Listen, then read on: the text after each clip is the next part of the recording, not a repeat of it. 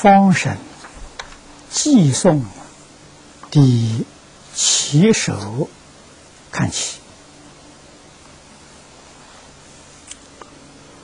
佛于夜夜刹那中，普于无边大法语，悉使众生烦恼灭，此云床神所了之。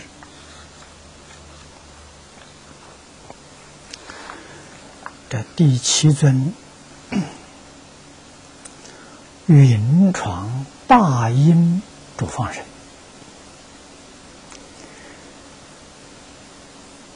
他所修学的法门是如龙普喻，令众生欢喜解脱门，在。主法神这一段，我们看到经文里面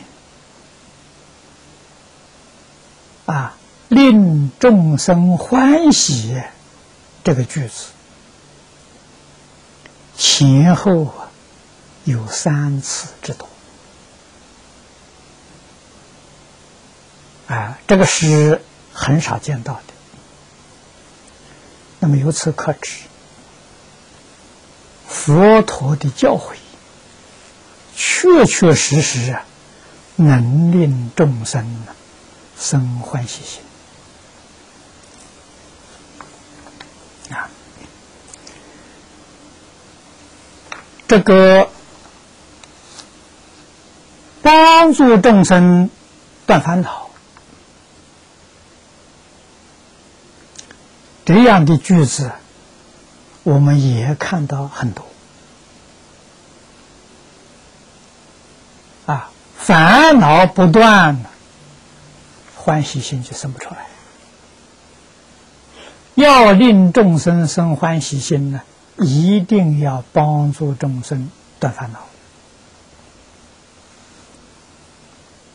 啊！菩萨在他的。赞颂报告里面，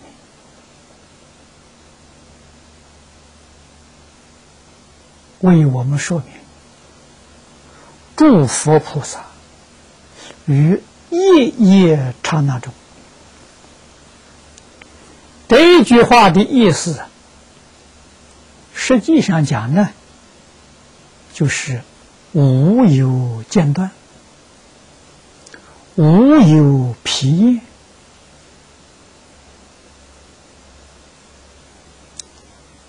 中国古人所谓的“学不厌，教不倦”，教育学是永恒的，永远没有间断的。我们现在学习。上课还有下课，上学还有放假，啊，说明我们的学习啊是断断续续的，所以成就啊就很困难啊！诸佛菩萨。何以有这样殊胜的成就？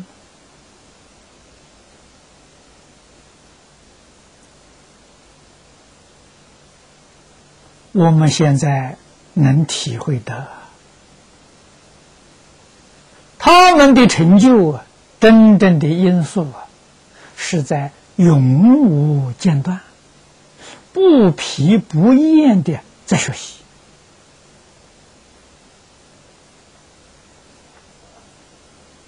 这是他们修行正果、成就无上菩提的秘诀。佛有没有告诉我们？告诉我们了：佛不令法，《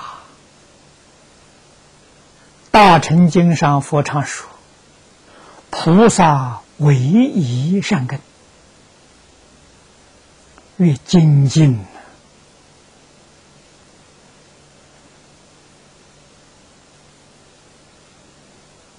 这才叫真精进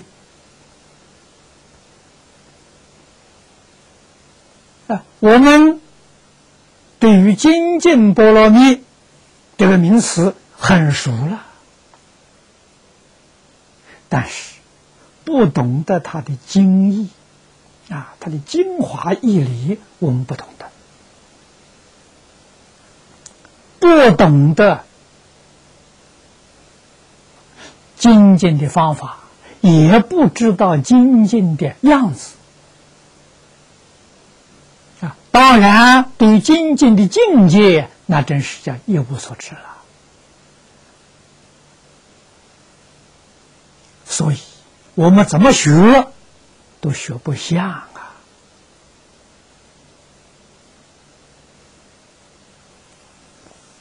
刹那是。极其短暂的时间，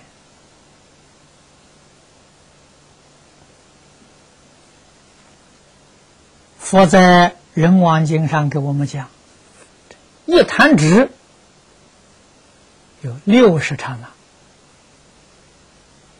啊，换一句话说，我们一弹指的这个时间是六十刹那。啊，一刹那呢？就是一弹指的六十分之一啊！我们身体健康，身子灵活啊，这弹指弹的很快呀！啊，我一秒钟能弹四次，那么一秒钟多少个刹那？四六两百四十个刹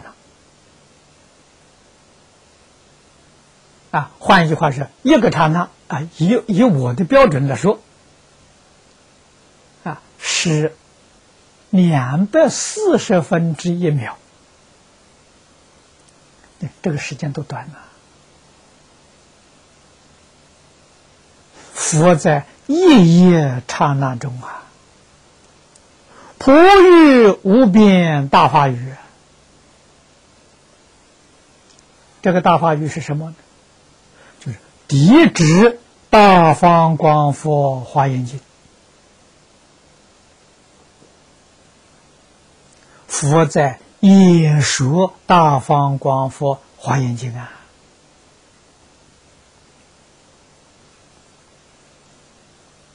也许人说。怎么我没看到啊？我没听到啊？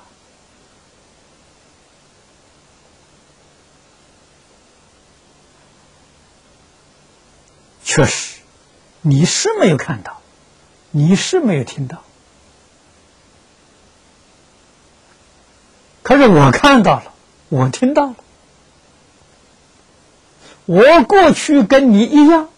也是没看到，没听到啊！现在我看到了，我听到了。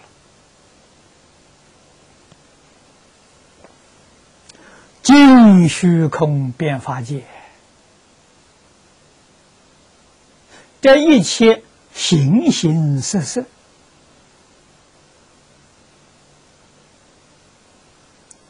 不是大方广佛华严是什么呢？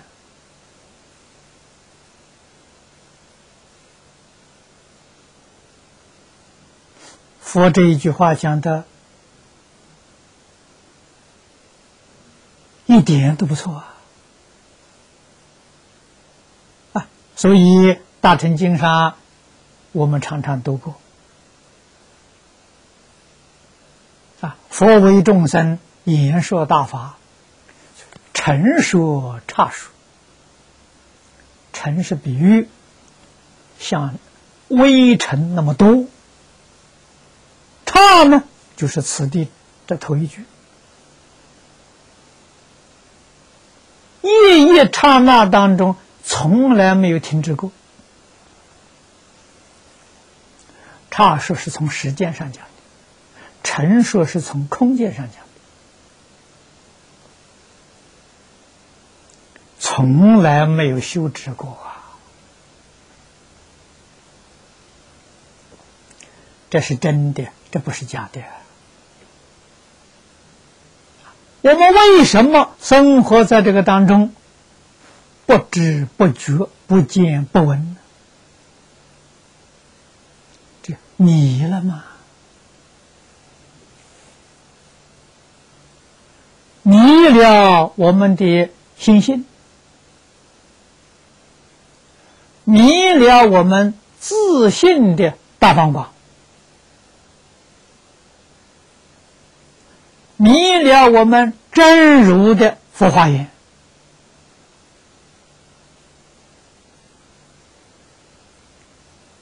所以我们会受这么多的苦难呐！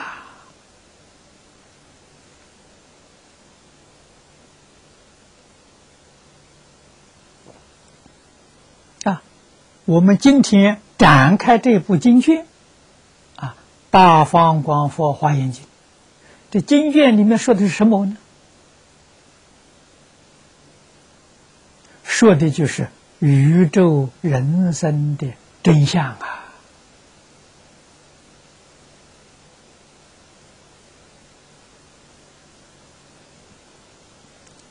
说的是虚空法界、国土众生、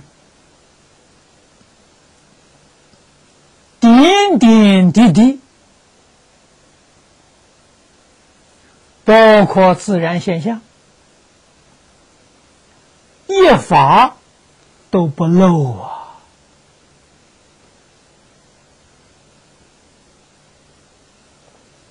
佛告诉我们，这一些做法，它的原理。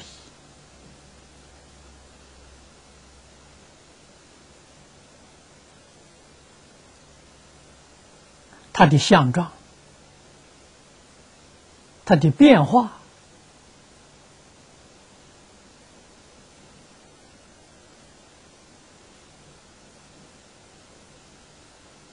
他这些离世因果，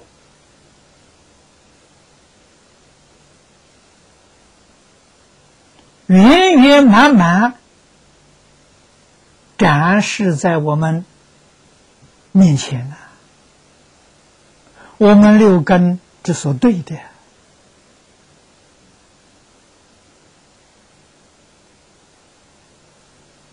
如果不是世尊为我们说出来，这个说出来就是现在读的这部经典，我们对于六根接触的境界。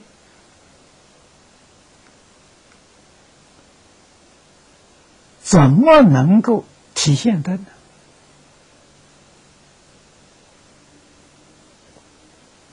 啊，何因不能够体现呢？就从来没想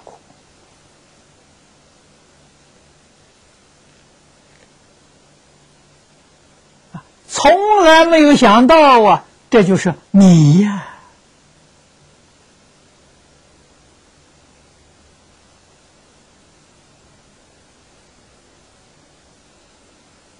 迷惑之后啊，我们对虚空法界一切众生呢，凭着自己的妄想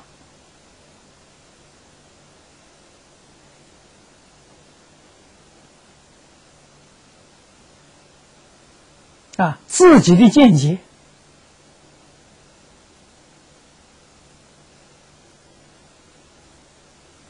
自以为聪明。不顾事实真相啊！啊，实在讲是完全违背了事实真相，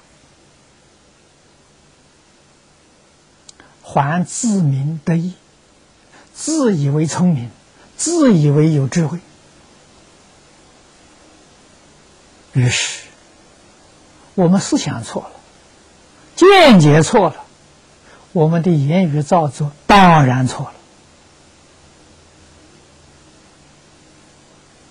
了。啊，错了不是不现象，错了还现象。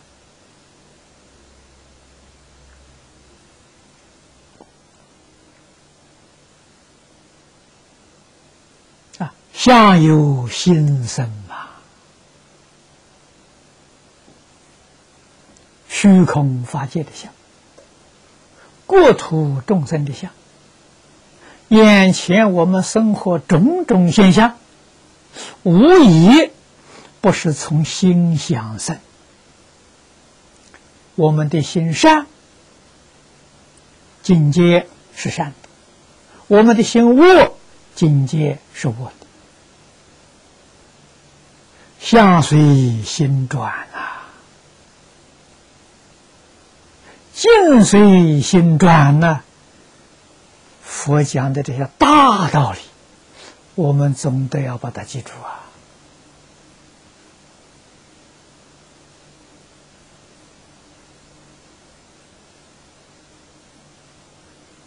啊，常常用它，在跟尘相接触的地方去参究。这样就有悟处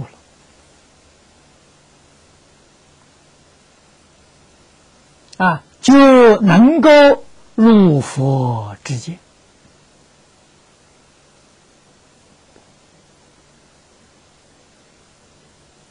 于是，我们无世界以来的烦恼习气，自自然然呢。就化解了，转烦恼为菩提呀，息使众生烦恼灭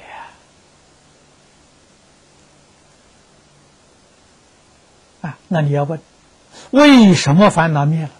因为你对事实真相彻底明了了啊！烦恼的根源。烦恼无量无边，根源就是迷啊，就是不觉。你现在悟了，现在觉了，烦恼的根拔掉了，这个高明的基础啊，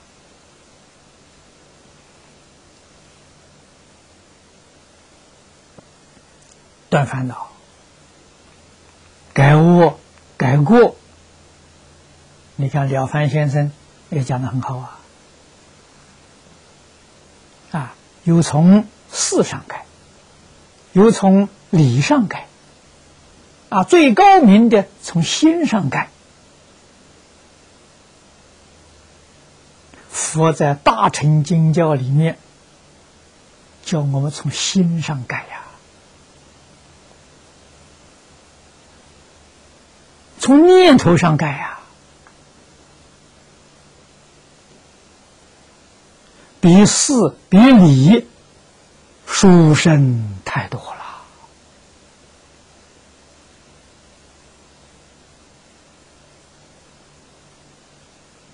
如果不是佛陀这样慈悲教诲，我们怎么会知道？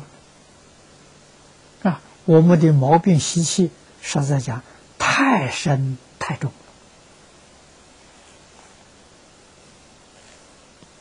啊！叫我们不杀生，叫我们不偷盗，叫我们不邪淫，叫我们不妄语，这从事上改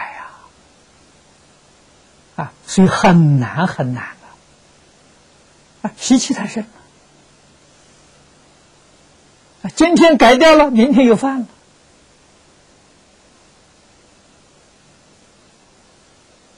现在在讲堂里面改了，下了课出了讲堂又犯了，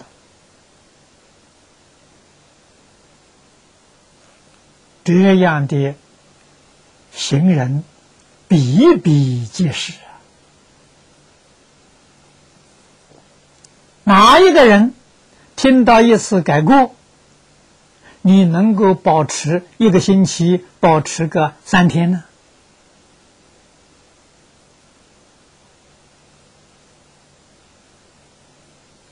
从这些地方观察，就晓得从事上改难呐。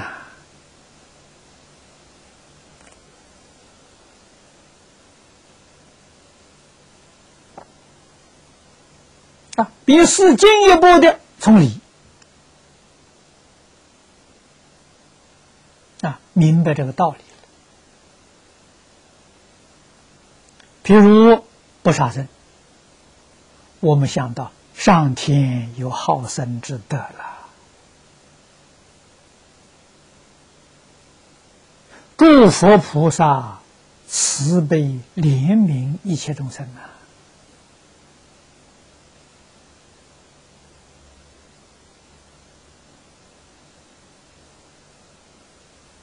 一切善神也都拥护一切众生啊！如果我们任意伤害众生，岂不是得罪诸佛菩萨，得罪天地善神？我们明白这个理了啊！跟尘相接触的时候。念头才一动，就想到这个道理，这个行为上啊，他立刻就终止了。这比单纯从事上改呀，要容易多了。啊，四是完全压制自己的。情史啊，压制绝对是有限度啊。从理上想通了啊，这正确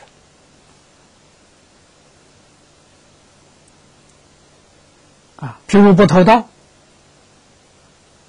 我们自己本身不希望别人欺骗我们。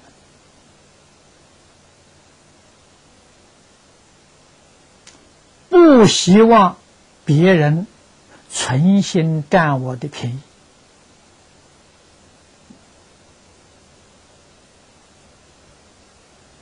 那我们要回过头来想一想：人同此心，心同此理。别人跟我一样啊，我怎么可以占别人便宜？于是。损人利己的事情，绝对不会去做了。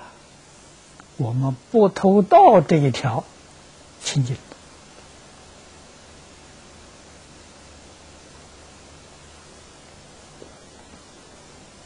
啊，不言语这条重要。古大德常常告诉我们。百善孝为先，万恶淫为首啊。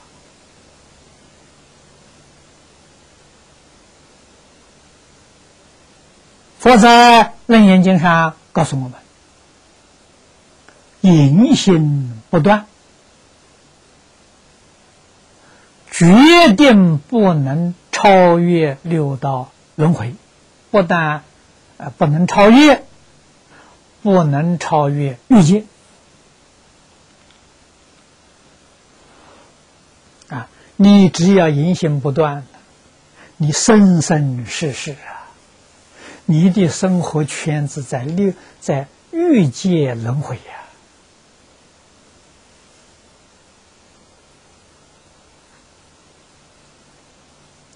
色界天都没有份呐！啊，色界。是四禅天，大家都知道啊。四禅天的业因是禅定什么叫禅呢？我们用很浅显的话来说，大家容易明了，不受外境诱惑，叫做禅。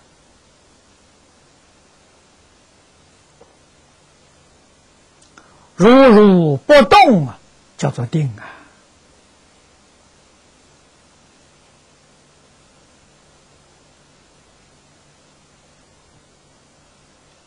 这是实质上的禅定啊。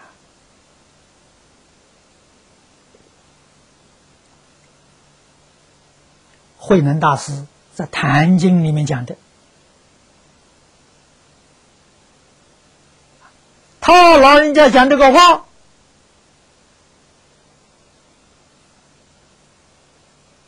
是有根据的，啊，根据在哪里呢？世尊在般若会上《金刚经》里面说的，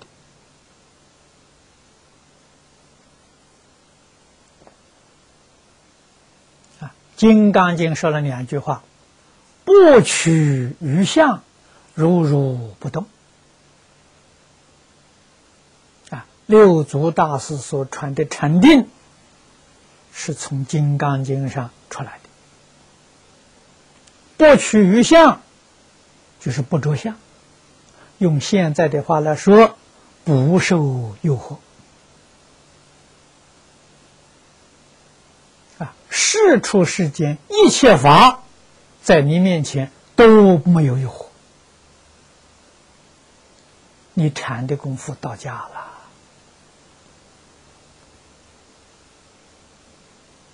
啊！你眼见耳闻，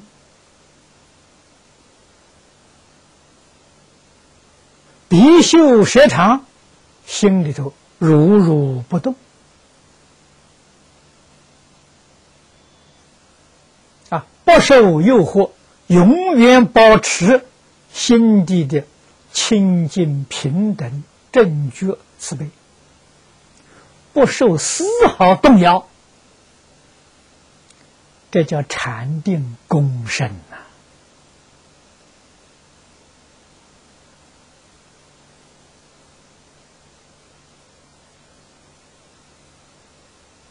而不是在那里呀盘腿面壁。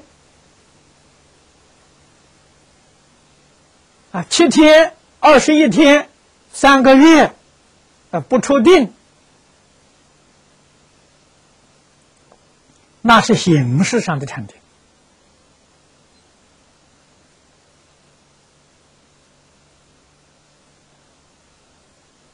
那是初学时候的禅定，练习，在练习，真正的大定啊，行住坐卧都在定中啊，你懂得吧？行住坐卧。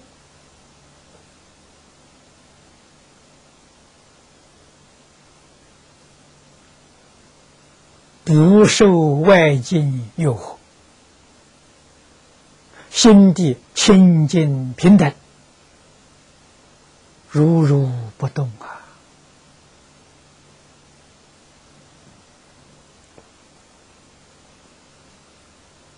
本经最后一品啊，入法界品，善财童子。参访玉香长者，啊，这一位长者修禅定的，善财童子在什么地方去访问他呢？在市场访问他，他在逛市场，啊，市场是商业的中心呢，最热闹的地方啊。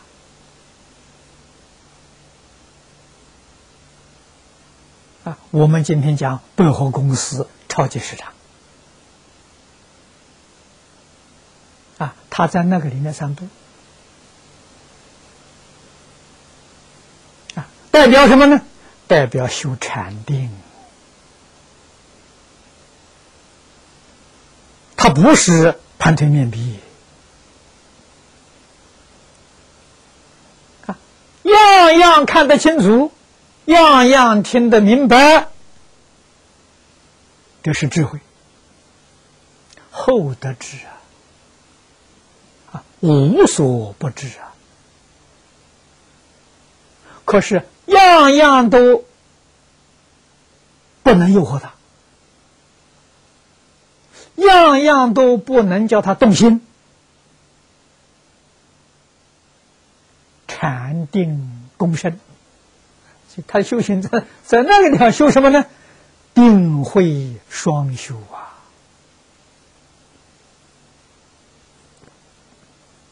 啊，这是确确实实华严境界，离事无碍，事事无碍。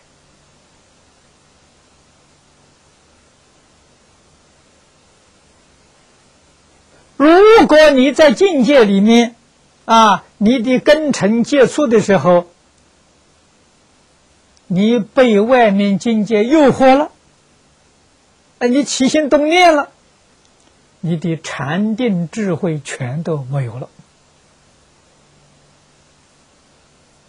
你就迷了，啊，迷了就生烦恼啊！这个烦恼是什么呢？七情五欲是烦恼啊！啊，顺你的意思起了贪爱了，贪爱是烦恼，贪烦恼根本烦恼贪嗔痴啊！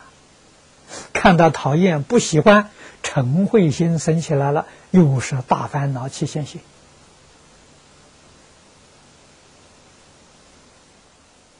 啊！自以为是的时候，功高我慢起来了。甚至于嫉妒障碍连到起来了，你就造罪业了。一个人修行，必须要外不受诱惑，内不动心，啊，不起心，不动念，不分别，不执着，这个人就不造业了。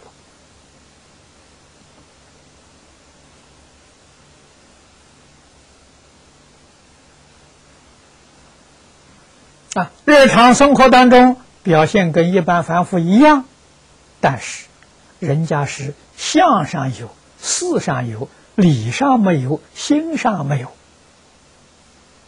所以是坐而无作。啊，穿衣吃饭坐，无作是心里没有着相，没有动念头。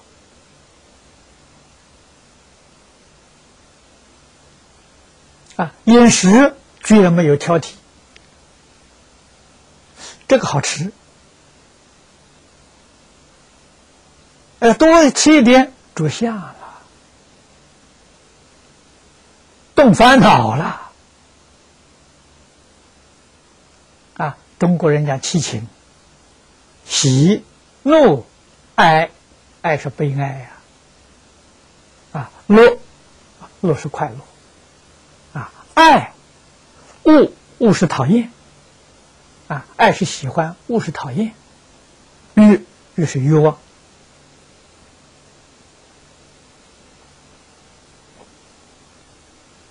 这，是需求，这叫七情。五欲是佛法里面讲的，财色名食睡。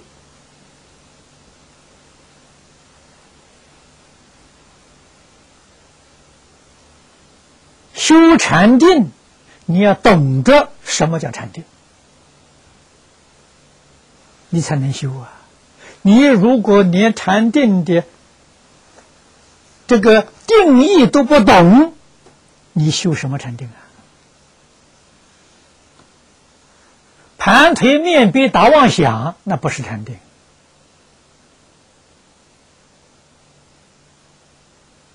啊，放了腿子下来，还有贪嗔痴慢，没有不是禅定。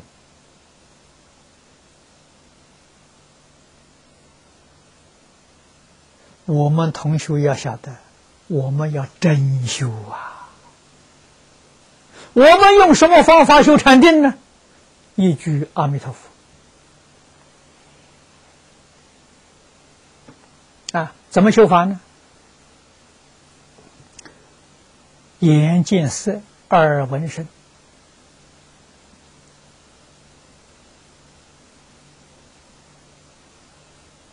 被外面境界诱惑了，起心动念了，赶紧阿弥陀佛，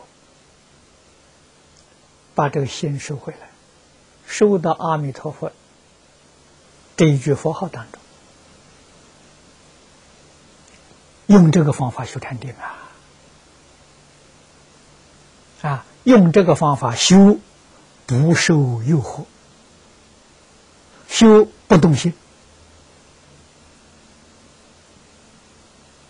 啊，给你讲修禅定，你又迷惑了，啊，我告诉你，用这个方法修，不受诱惑，啊，心里才有受诱惑，阿弥陀佛。啊眼睛闭起来，阿弥陀佛，不接受诱惑，啊，心定在这一句佛号上，不起心动念，不分别之处，这叫修禅定啊。所以，世尊在《大集经》上讲啊。念佛是上上深妙禅啊！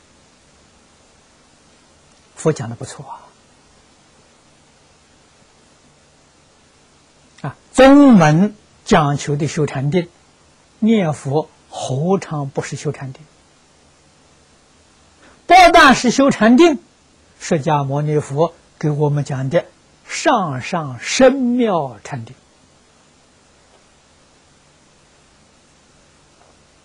啊。没有盘腿打坐这个形式啊，一切事一切处啊，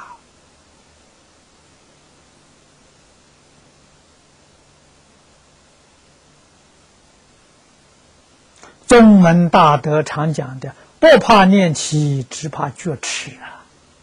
这一句佛号提起来就是觉。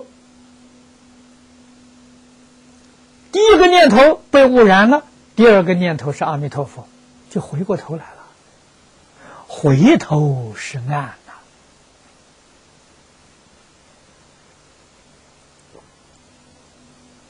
啊，在什么时候修呢？夜夜刹那中。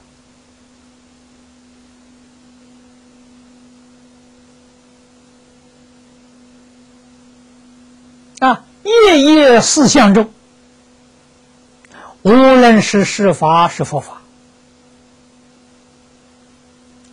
总得要懂这个道理嘛。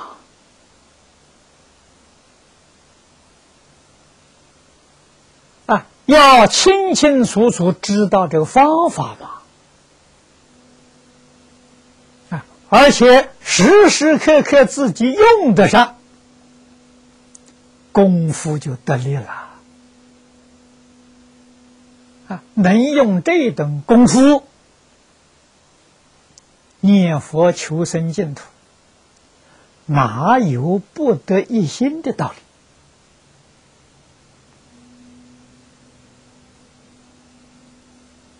理？啊，纵然是下乘功夫，事业心不乱，啊，下品的。我们一般人称功夫成片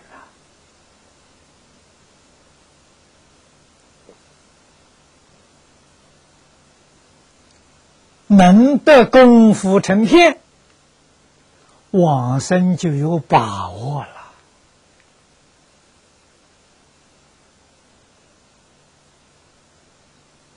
啊，前几天有个同学来问我。啊，他也很谦虚，很小心，啊，要问我一个敏感的问题。我说什么问题？啊，他说法师，你有没有把握往生？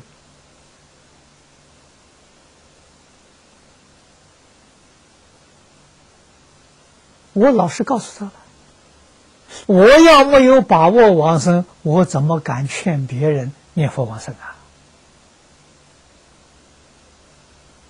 那他问。你凭什么有把握呢？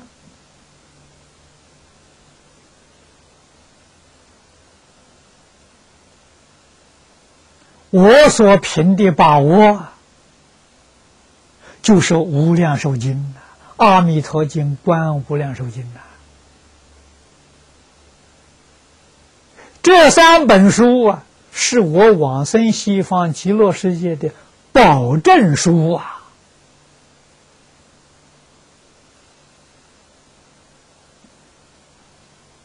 啊，他怎么保证我呢？我对于经典的道理明了，方法清楚，境界清楚，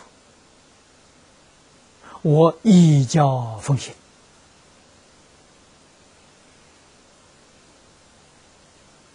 啊，绝不违反，我就有把握了。而且我在讲习当中，常常劝勉大家，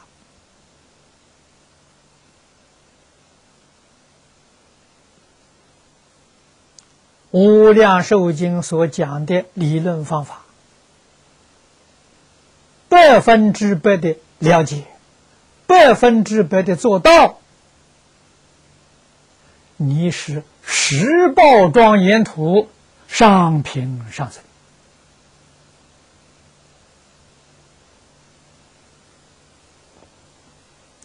你对于理论还没有完全透彻，但是你对于修行方法明了。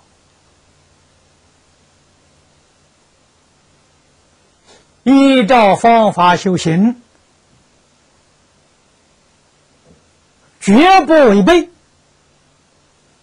啊，经里面的教训你全都做到了，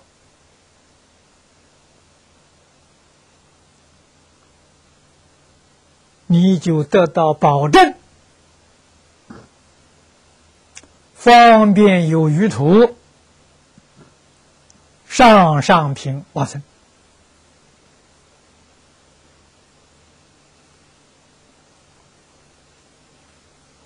你对于经中的理论知道的有限，啊，知道的不多。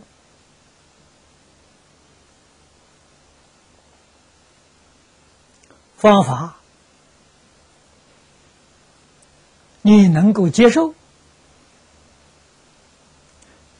你能够克服自己的烦恼习气，啊，认真努力。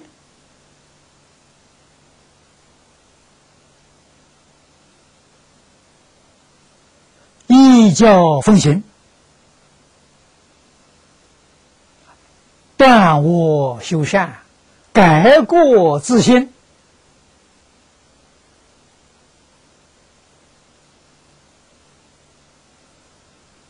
这样念佛求生净土，凡圣同居土，上上品往生呐。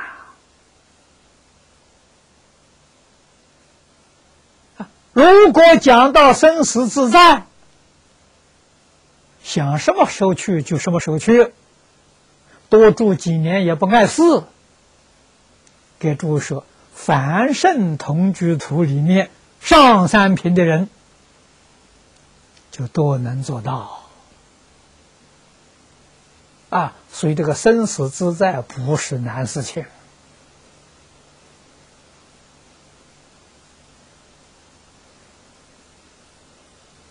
这个有证据，我们在这么多年当中，啊，亲眼看见的、亲耳所闻的念佛往生的人，不生病，啊，欲知实知，有站着往生的，有坐着往生的。啊，有还可以跟别人讨论日期，哪一天走好？自己可以选择日期的。这些人生到西方净土，啊，我细心观察，他们都是凡圣同居土，上三品的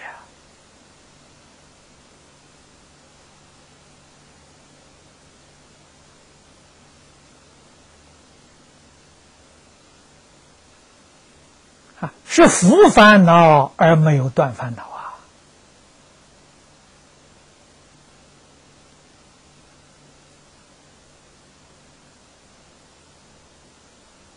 啊，理与事兼修啊，这样的成就啊！如果从心、从理、从事。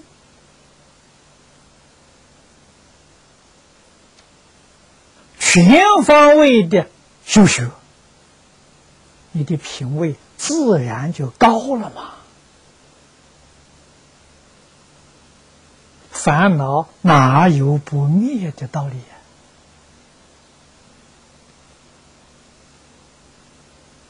呀？啊，今天的问题全在我们自己。啊，我常常对同学们说，啊，常常勉励大家、警策大家，万不可随顺自己的烦恼习气，啊，万不可随顺自己的成见。这个话说起来容易，做起来难，难在什么地方呢？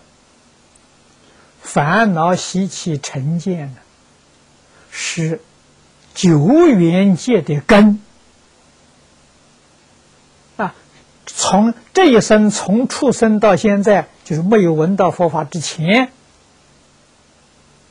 都是随顺烦恼习气，都是随顺自己成见，已经养成了坚固的习惯了。现在要把习惯改过来。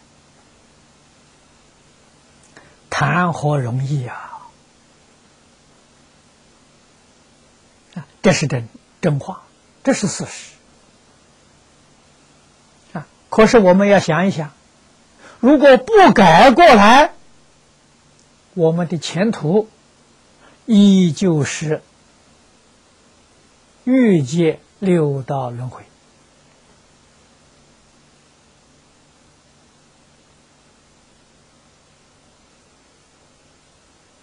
这是一定的道理呀！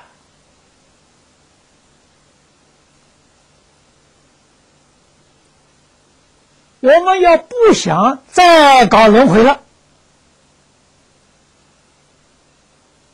啊！我们心心向往极乐世界，心心想见阿弥陀佛。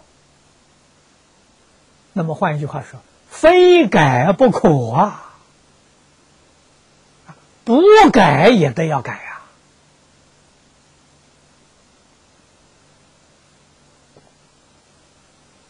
修行难就难在这，这个难一定要把它克服啊！为什么别人能克服，我不能克服？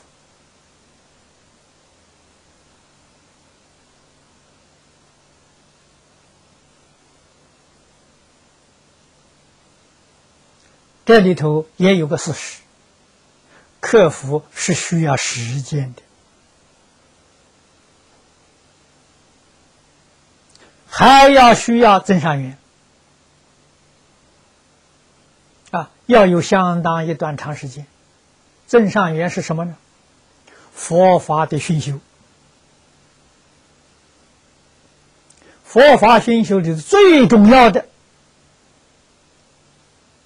是听讲，是读诵啊？为什么呢？唯有听讲读诵，你慢慢的才真的把道理搞明白了，搞清楚了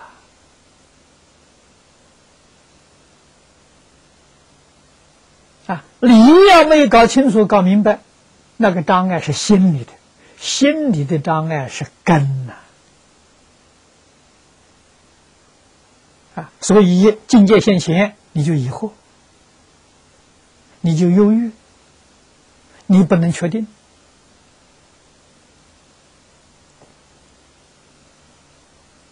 这个事情苦啊！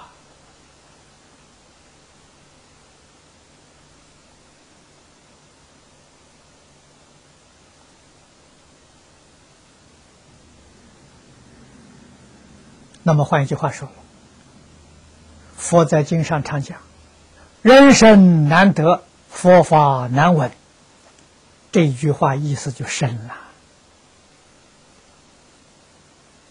一个人在在这一生呢，啊，得人生很幸运，得到人生第一殊胜就是文法。你文法的时间太少，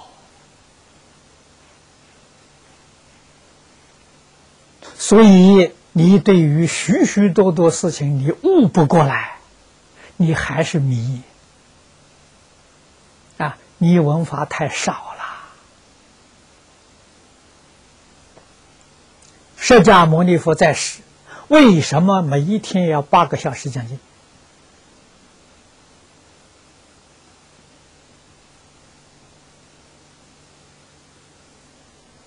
为什么？每一天没有八个小时的熏习？凡夫怎么能转得过来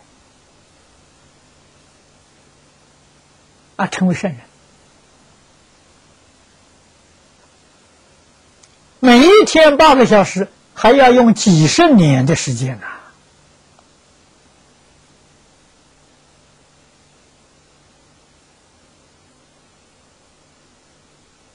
这是缘呢。我们这一生当中遇不到这个缘。这个难呢，这叫真正是灾难呐！啊，的人生这一生空过了啊！我自己对自己也是非常庆幸，感到非常幸运的。我二十六岁接触佛法。今年七十五岁，整整五十年了，五十年一天没间断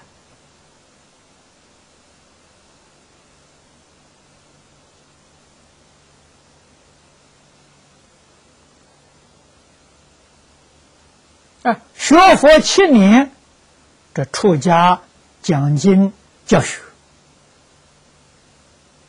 讲台也有。四十三年没有间断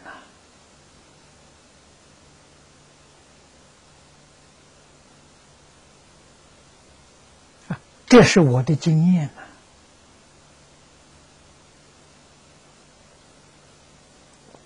没有这么长的时间，天天不间断的熏修，啊，不是在台上讲经，就是在读经准备。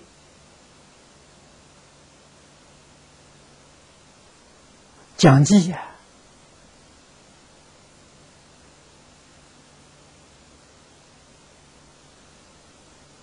初学的时候准备讲稿啊，到以后熟了，这熟能生巧了，啊，我就准备大纲，啊，大纲我通常是用表节写出来。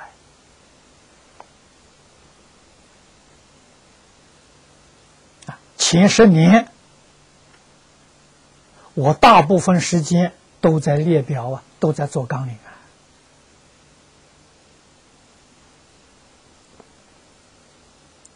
没有这么长的时间熏修，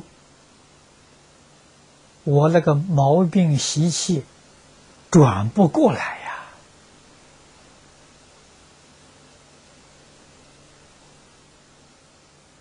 啊，顺境逆境，善缘恶缘，哪有不动心的道理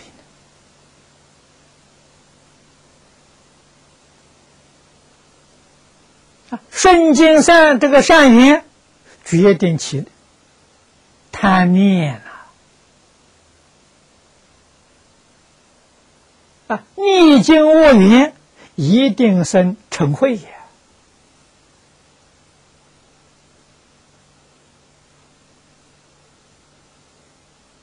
见到别人的好事盛事，还不免有嫉妒啊！这些严重的烦恼，在我自己个人修学当中，啊，三十年才把它淡化掉啊，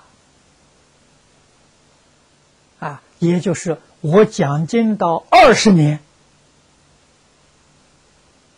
我的嫉妒心没有了，啊，十年的时候还有啊。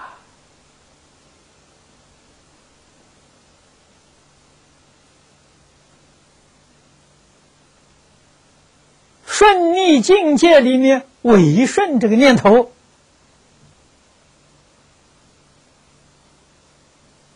到四十年的时候才没有了。无论在什么境界里头，心地是平静的，啊，心地保持清净。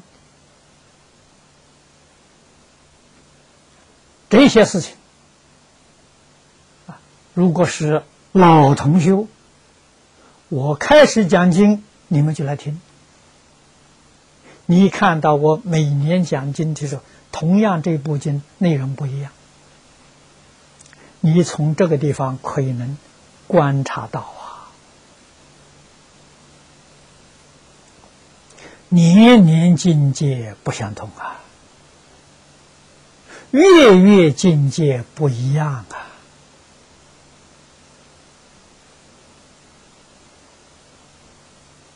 啊，什么原因呢？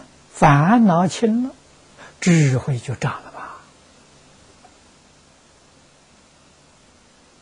啊，把烦恼转变成智慧了，就这么回事情。啊，怎么个转法呢？决定不随顺烦恼，知道烦恼性空啊，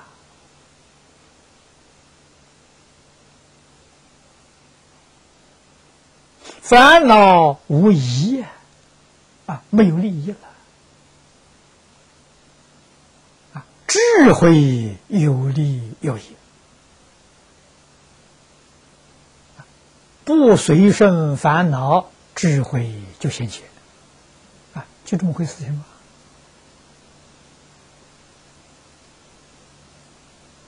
生佛平等呐，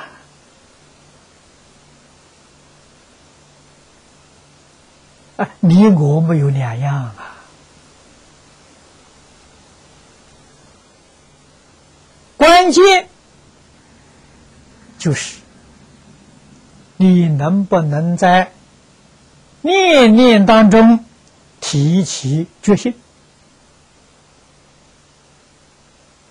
啊，念念觉而不迷，念念正而不邪，念念静而不染，这是三归一呀！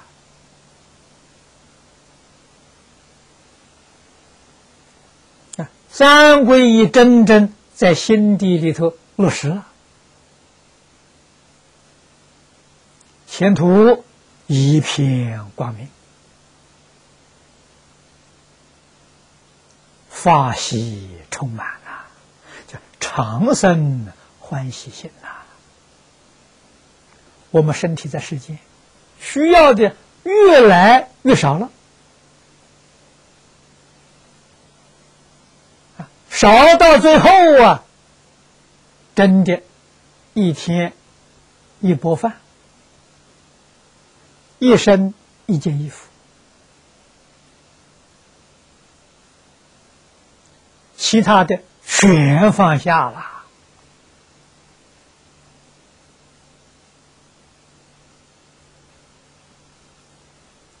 把自己的身心跟宇宙融合成一片。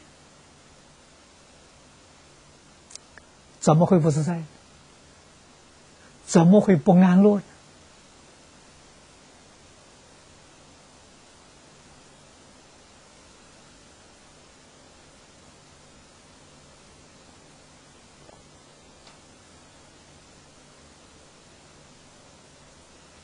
啊，这些地方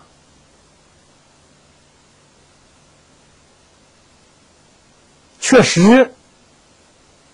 设之不难，行之艰难。你一定要把艰难找出来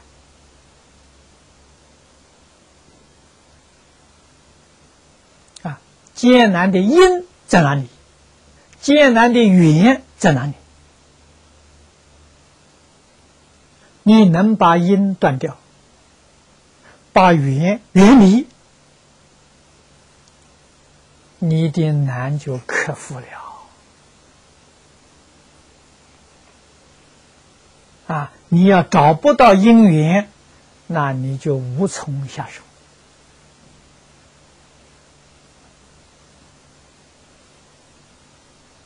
啊，个人的因缘并不完全相同。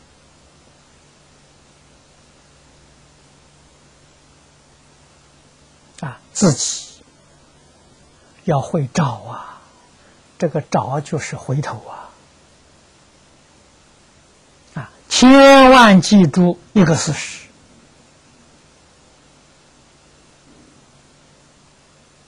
那就是不干外边。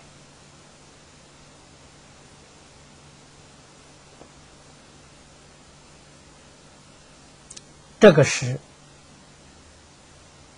菩萨修行成佛最重要的一个秘诀啊。所以佛给我们讲，他老人家所说这个内学啊，叫我们向内去观察、去寻觅，千万不要向外。为什么？心外无法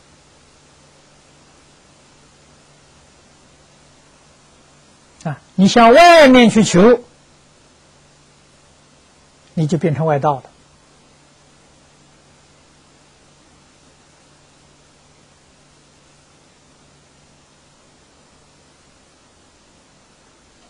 与外境永远没有干涉，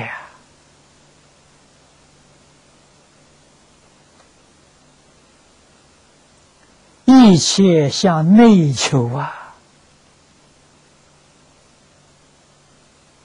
这个道理是我初学佛的时候，张家大师教我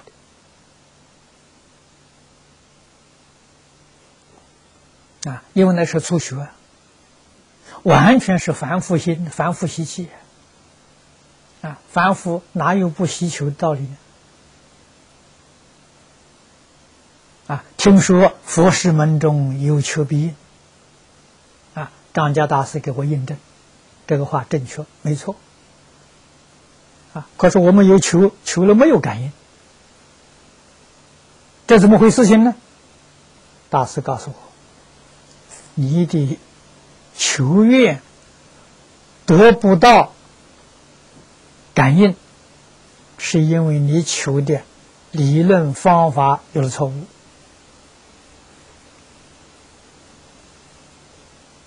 非理非法的求愿得不到感应，啊，如理如法。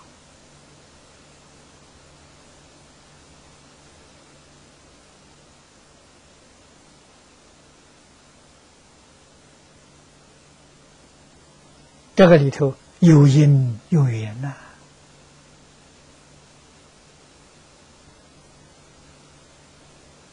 啊我们所求的，先要想想合理不合理。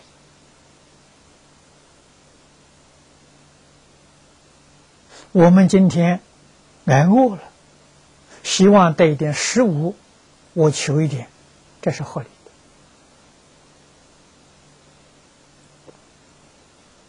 的。如果我挨过了，还要求美食，这是不合理啊！为什么呢？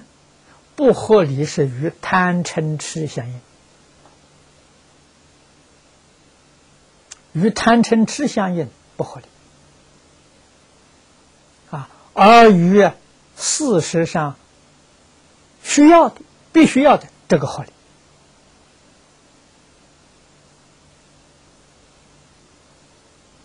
啊我今天求财，不是为自己享受的，为自己享受不合理。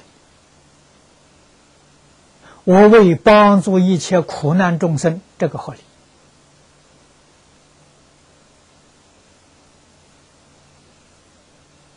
啊，为帮助苦难众生，自己在里头得荣誉。啊，希望在社会上提高自己知名度，这个不合理。虽然你是好事，你附带的这个条件不好。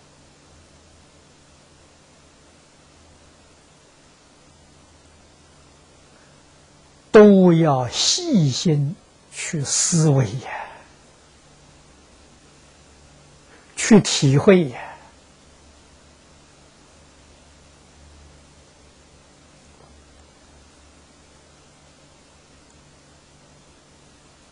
啊，譬如求财，这个求财的方法要正当。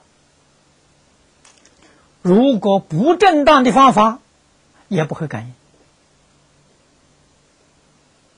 啊！我想求财，我自己没财，怎么偷人家去，骗人家去？这个不正当，这个不会有感应。啊！你自己用正当的方法去盈利。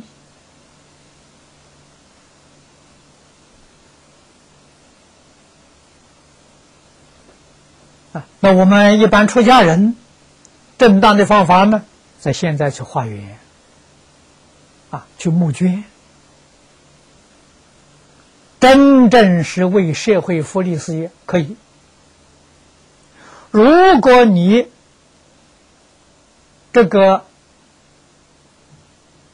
化捐募捐带有强迫的性质，这个不如法。这是错误的啊！所以捐献一定是自动的，捐献一定是随分随力的，不勉强的，勉强就错了。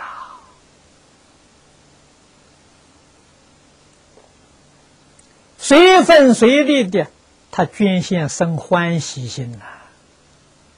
勉强的时候，他里面有怨恨呢，他不愿意呀，啊，甚至于每个月要派多少，啊，像纳税一样的，这个最糟糕的，这个方法是决定错误的，啊，派到你每个月一定要捐多少，啊，这个是佛绝对不许可的。啊，修福绝不在乎啊，你捐献钱物多少，是你的真诚恭敬心啊，欢喜心，功德是从这上说啊。啊，《了凡四训》现在流通的很广泛，你们看看里面讲的啊，有一个贫穷的女人到寺庙里头捐两文钱。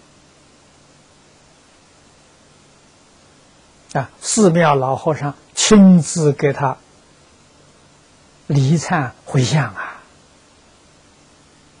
后来这个女人做了王妃了，啊，带了千金到寺庙里面来修布养，修这个布施供养。老和尚叫小徒弟给他回向。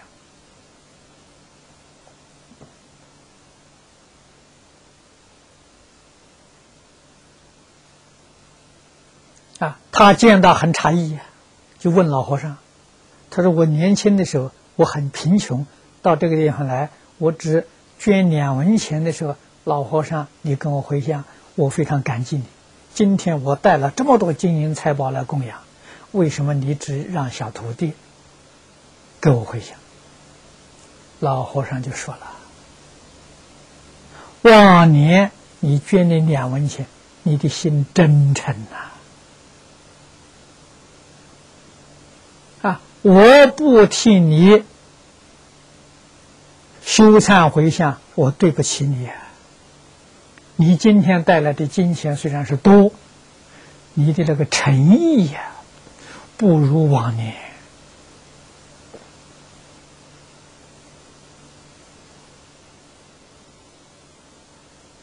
啊！而且做了王妃，这功高我慢，架子很大。而目中无人，不像从前对待任何人都那么恭敬。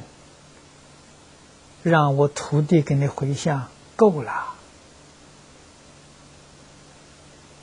你们想想这个道理。所以，捐献不在钱财的多少，在你那个真诚、恭敬、欢喜心。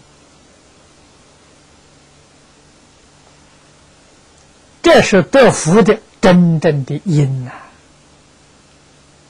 啊，真诚心、清净心、平等心、欢喜心，修布施供养，你所得到的福是圆满的。啊，你捐献的财物再多，你恭敬心不够，清净平等没有。你所得的福，只有一半不是圆满的啊！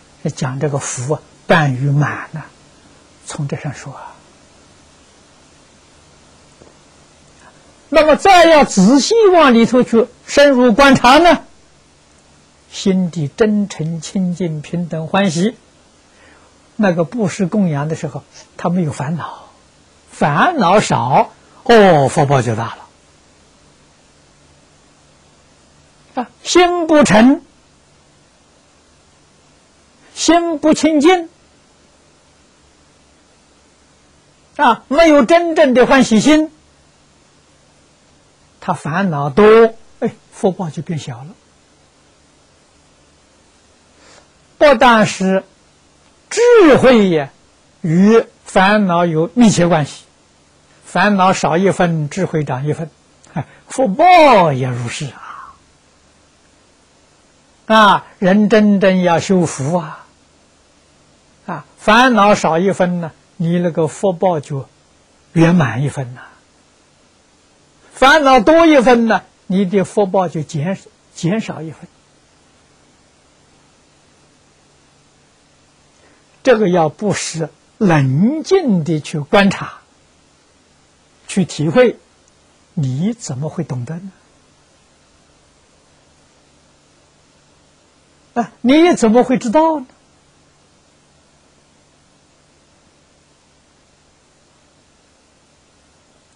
由此可知，烦恼对于界定慧都是障碍。啊，烦恼轻了，不但智慧长了，定功也深了，啊，戒也清净。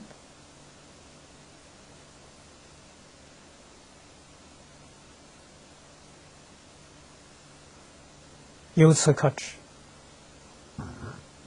我们在日常生活当中、工作之中、待人接物，时时刻刻，在佛法里面讲，就是刹刹沉沉呐。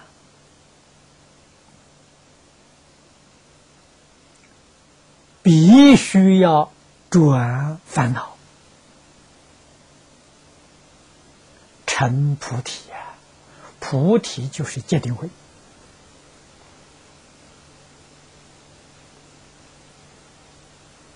这样，修学功德才能够圆满，福不唐捐呢。那么，讲到修福、修积功德，在我们现前这个环境啊，此时此处啊，此处是这个地球啊，此时是在这个时代啊，地殊胜，无比殊胜，就是弘法利生，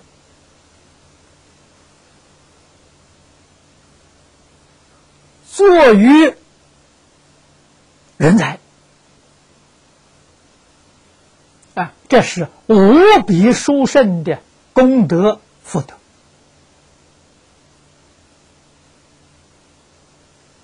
是世间任何事业都不能够跟他相比，这是真实的利益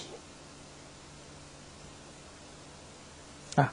此云床神所了之啊！